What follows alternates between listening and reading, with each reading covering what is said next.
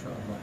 Mudahan menyatakan tasbih innal hasanati yudhibun sayyi'at lepas sebut bahawa uh, perkara-perkara yang baik itu akan menghapuskan dosa-dosa menghapuskan segala kesilapan kita. Maka bulan Ramadan yang mulia ini sudah pasti banyak dari perkara yang dapat uh, menghapuskan dosa-dosa kita. Termasuk antaranya ialah sedekah. Sedekah sedekah kelebihan yang utamanya akan uh, menghapuskan dosa bagaikan api padam dengan air.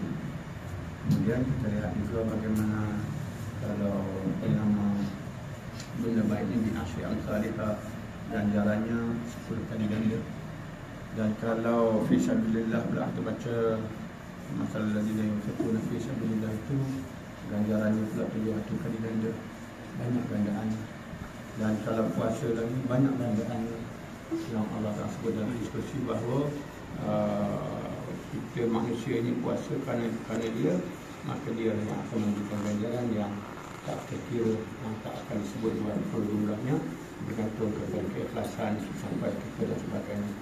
Dan dalam bab apa nama infak juga kalau tengok tadi 700 kali ganda tetapi dalam bab lain Nabi sebut juga boleh jadi ganjaran satu dirham. Satu dirham Nabi kata ganjaran pahalanya boleh jadi lebih daripada 100 ribu dirham. Lihat juga lah satu pahala. Mak sisi Allah tak sama. Lalu sahabat kata ya Rasulullah bukan kami dia orang kaya-kaya senang-senang nak belanja. Maka Nabi kata orang yang derma infak satu satu dirham tadi orang miskin.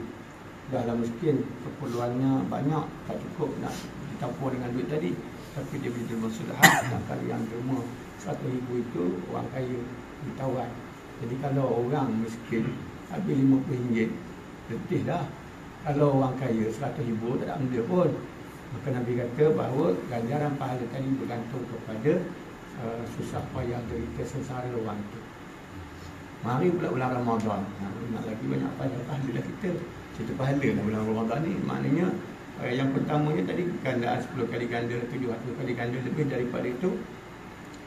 Kemudian kalau pula takdirnya uh, kita ganda pula pada bulan Ramadan buat benda sunat pahalanya pahala wajib uh, kalau kita pula pergi pula dalam Qadar dalam Qadar lebih baik daripada seribu bulan kata ulama setengahnya kalau kita derma pada malam tu malam tu kena Lailatul Qadar seolah kita derma seribu bulan. Seribu bulan 83 tahun banyak.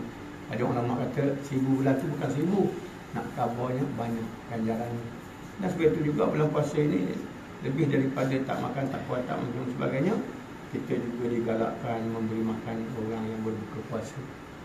Sehingga Nabi sebut bahawa macam mudah-mudahan uh, manfaat orang yang memberi makan orang berbuka puasa apa berbuka puasa lah sediakan makan juadah berbuka puasa itu Nabi kata dia akan dapat pahala sama banyak dengan orang yang puasa.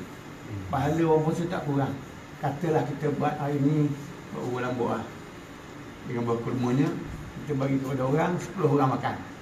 Buka puasa dengan makanan kita 10 orang. Katalah puasa tadi pahala kita andaian andaian andaian umpama 10 kilo. Dah kalau seorang 10 kilo 10 orang 100 kilo bermakna kita dapat ganjaran sama banyak dengan orang yang makan tadi kalau orang 10 darat 10 orang menunjukkan bagaimana kita digalakkan oleh Rasulullah SAW untuk menyediakan juadah berbuka puasa dan sahabat tanya juga ya Rasulullah nak sedia jodoh berbuka puasa bukan semua orang kaya. Nabi kata cukuplah air setegak, cukuplah kurma sutir untuk membatalkan puasa dia nak buka puasa. Maka oleh kerana itu kita lihat dalam hal ini banyak yang ganjaran disediakan oleh Allah Subhanahu Wa Taala. Kalau kita pula menganjurkan belanja buka puasa, pergi pula kepada anak yatim, orang miskin, Allah Allah habisnya lagi sebab apabila kita memberikan kegembiraan kepada orang mukmin ganjarannya cukup besar sisi Allah Subhanahu wa taala. Dah kalau pula semua orang pakat nak buka nak nak bagi buka puasa belaka, siapa nak makan hadiah? Maka jawapannya kita juga kena makan orang bagi kita buka puasa jangan ada oh, ah, ni nak makan jangan kita jangan kita jadi sombong. Orang beri untuk kita kita makan. Mudah-mudahan dengan kita makan itu menyebabkan kita juga dapat ganjaran daripada Allah Subhanahu wa taala. Ada satu cerita orang di Malaysia. Orang tu orang kaya tak masuk nama ah.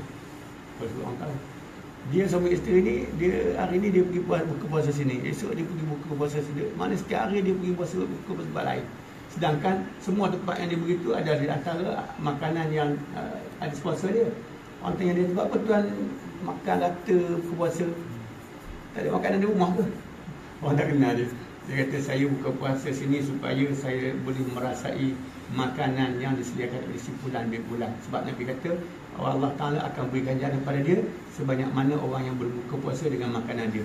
Jadi mudah-mudahan dengan saya datang makan makanan yang disediakan itu menambahkan lagi jumlah orang yang berbuka puasa dengan makanannya untuk mendapat ganjaran yang lebih banyak. Jadi itu contohnya.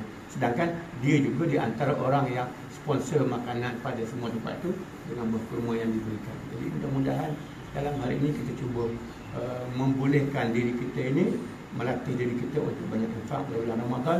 Sebab itu bulan yang paling istimewa lagi, mana ada zakat, apa harta yang kena semua buat. Semahyang mesti ada cukup syarat.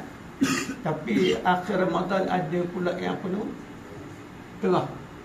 Terah tak ada syarat. Ha, tak, tak ada syarat laki ke perempuan ke kecil besar tak ada ke akal balik mana. Semua yang bernyawa syaratnya hidup sekejap dalam bulan Ramadan dan sekejap dalam bulan Syawal maka dia dikenakan bayar zakat fitrah kira ibadat yang satu-satunya ibadat yang semua orang kena buat ialah